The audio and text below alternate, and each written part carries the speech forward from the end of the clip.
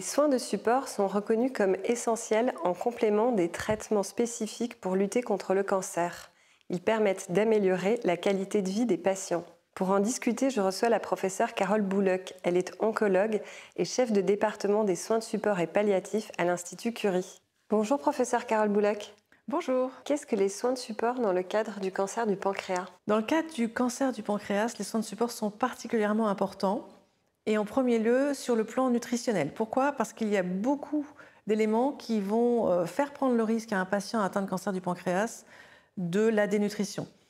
D'abord parce que le pancréas secrète des enzymes digestives et qu'il peut y avoir dans certains cas une insuffisance digestive qui amène à des troubles du transit, de la diarrhée en particulier. Ensuite parce que les chimiothérapies que l'on prescrit pour traiter le cancer du pancréas provoquent souvent des symptômes à type de mucite ou euh, qui provoquent une douleur euh, lorsque l'on s'alimente, ou aussi des troubles du transit. Enfin, parce que euh, le cancer du pancréas, comme beaucoup d'autres cancers, est associé à un syndrome inflammatoire avec un symptôme très fréquent qui est ce qu'on appelle l'anorexie, c'est-à-dire la perte de l'appétit. Donc toutes ces raisons font que le patient risque de moins bien manger et l'expose à une dénutrition qui est très délétère. D'une part parce que on a une mauvaise qualité de vie, on sent une grande fatigue et euh, ça altère considérablement euh, le quotidien et d'autre part parce que cette dénutrition est bien connue pour être un facteur de mauvaise efficacité, de réduction en tout cas de l'efficacité des traitements anticancéreux. Donc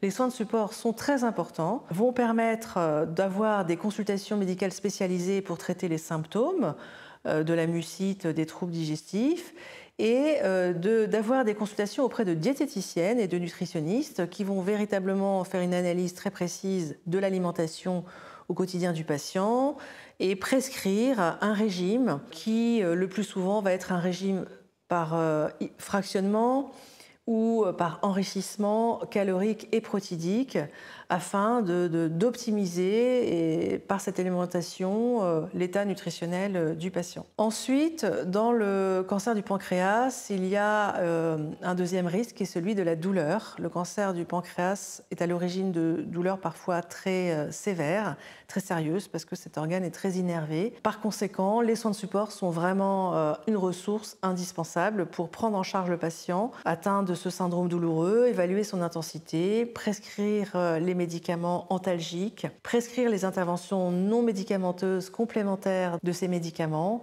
et faire des réévaluations régulières afin de s'assurer toujours qu'il y ait euh, un contrôle suffisant euh, du syndrome douloureux euh, du patient. Quels sont les bienfaits qu'un patient atteint de cancer du pancréas peut attendre des soins de support? Eh bien, les soins de support sont euh, indispensables lorsqu'on est confronté à un parcours de traitement pour un cancer du pancréas, qui est une maladie dont on sait quand même sa gravité. Donc, les soins de support sont là pour évaluer en permanence les symptômes auxquels est confronté le patient, les soulager au maximum. Les soins de support s'intéressent aussi aux proches qui sont amenés à être impactés forcément euh, dans une famille. Quelqu'un est malade, cela perturbe l'ensemble de la dynamique familiale.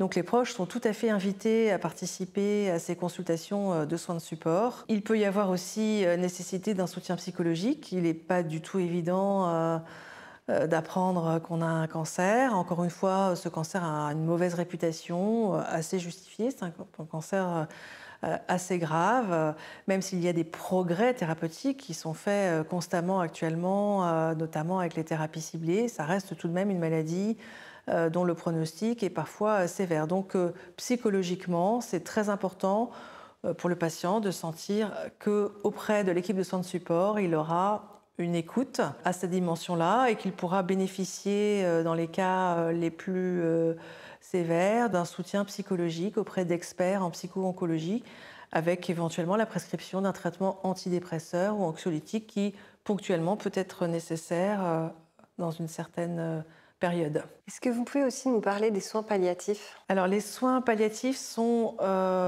très importants.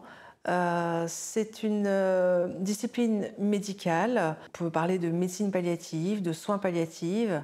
Et en fait, ces équipes de soins palliatifs ont pour mission de soutenir des patients confrontés à une maladie incurable.